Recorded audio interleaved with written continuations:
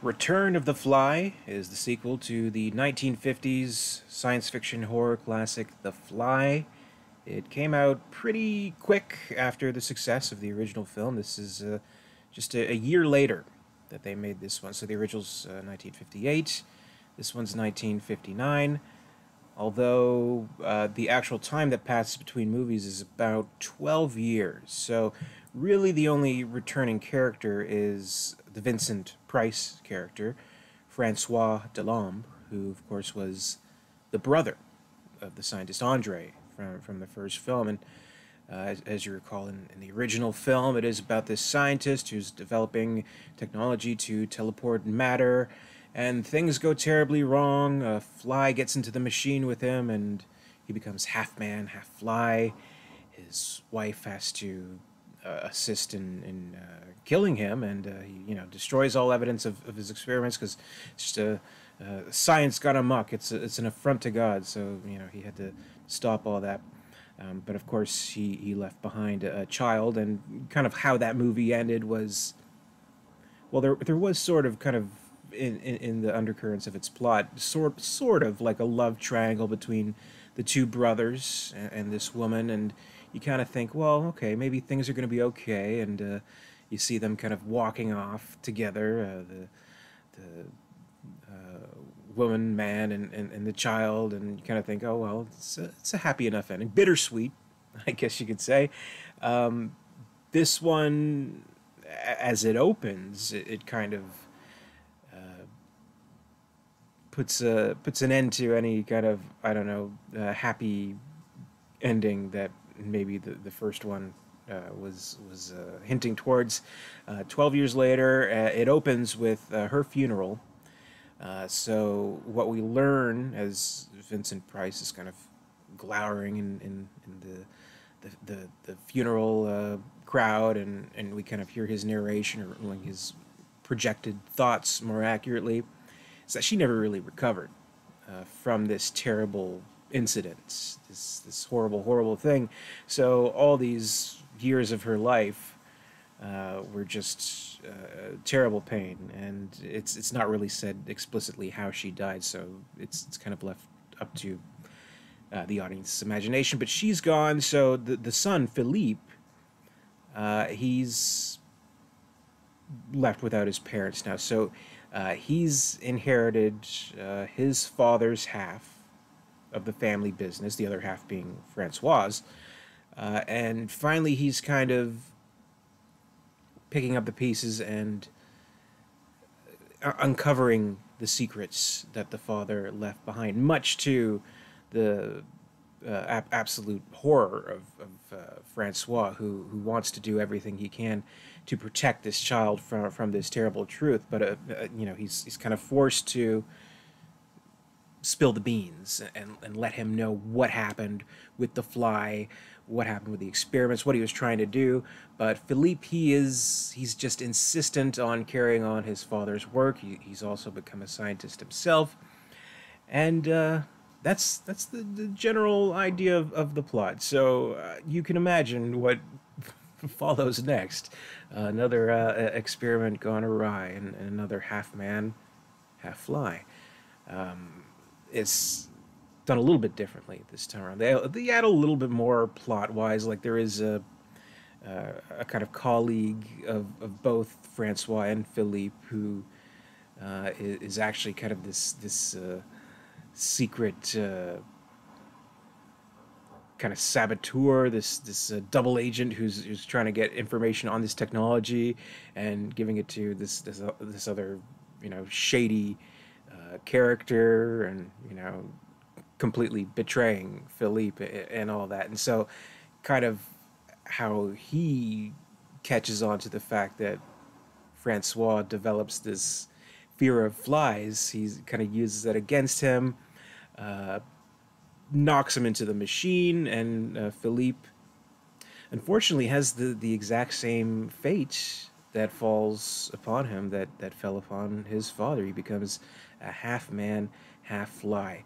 And in this case, he's not just kind of confined to his lab like the father was. Uh, he's he's kind of out and about, he's actually kind of uh, seeking revenge on on this uh, colleague. Uh, Alan is his name, who's who betrayed him and and those around him. So. Uh, it's it also kind of becomes about uh, Vincent Price's character uh, trying to uh, work with a, a trusted uh, police inspector uh, who knows the the secrets. Though he wasn't a character in the first film, I, am I'm pretty sure Inspector Beecham, I believe the name is, brand new character. He's kind of working with him to, to track Philippe down, try to find that smaller version with the fly head and the fly hand, or the human head and, and the human hand, uh, and, and and try to right the wrongs. Basically, try to try to to, to save him for, from the same uh, terrible tragedy that uh, that his father experienced. So maybe he can get things right this time around. Maybe he can save the son's life. Uh, I won't go too into spoilers here, but there's you know some other stuff, including a, a romantic subplot with with Philippe and and uh, uh, uh childhood friend Cecile. So there's kind of I don't know, almost like a a, a little bit of a, a, a, echo of, of of the relationship uh, in the first film, kind of I don't know, like a Beauty and the Beast kind of thing. Um, so it all kind of comes together and it's it's not bad. I mean, it's it's a pretty decent follow up uh, considering, I mean, they are treading very similar territory. Uh, this is, I mean, I would say at the very least, very least, it's a better sequel to the original film than that 1980 sequel was to, to the 80s remake. I'll say that. Um, so I'd say it, it delivers more uh, on on things that we liked about the first film and, kind of uh, following uh, the the Vincent Price character and, and his kind of desperate uh, uh, kind of final stand and in, in, in, trying to to save his his nephew, right? So it's it's a good story, and I mean, obviously it's it's not as impressive technically as the original. Um, for one thing, I mean, what you'll notice right away, of course, it's it's in black and white, as opposed to the the full Technicolor original. So you can tell they kind of they weren't putting too much money on this. This is more kind of, I don't know, uh, the uh, drive-in schlock compared to the first one, I guess, um, which is fine. I mean, it's it's it's all right. Um, but you know, you kind of, I don't know. I guess you take for granted kind of the the cheesy flashing lights of, of the laboratories the experiments are, are going on in, in full color and, and they're just they're not as impressive as as the original film just because there's not much to uh, work with here it's just uh, you know black and white and I don't know the, the, the first film I, I, thought they did a really good job in kind of uh, keeping the monster at bay only catching a few glimpses of it. Like not really. I mean, it's it's, it's a guy with a mask, right? I mean, it's not really that involved. You know, not certainly not as as complex as as, as, as the remake, right? Um, and and they kind of I don't know. They show the monster a little bit more in this one, so he's not quite in the shadow. He's kind of running around and choking people, and I don't know. It's it, it's it's all right, but uh, you know, it's it, it, it certainly uh, I, I, can't regard it as like you know like side by side with the original, but at the same time, I, I would say it's it's it's worth checking out because, I mean, uh, again, it, it has a good concept. It's the the son of the fly, which I I can't believe they, didn't choose that title for this film. Son of the Fly seems perfect for you know, 50s movie, right? Um, but whatever.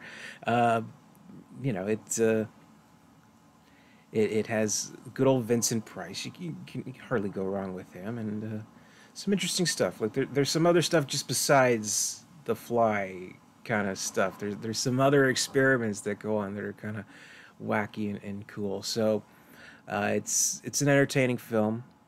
It's it's it's definitely worth watching at least once just to see what it's what it's all about. Uh, so I'd recommend it. Uh, so that's that's my review. The the Return of the Fly, 1959, spooky, scary, science gone wrong. 1950s drive-in classic, I guess. So Thanks very much for watching. We're doing 31 days of horror this month, so I'm uh, reviewing horror movies all throughout October 2021. I hope you'll stay with me and uh, watching some more spooky, scary stories. And uh, until then, be sure to comment, rate, subscribe, all that good stuff. Until next time, stay scared.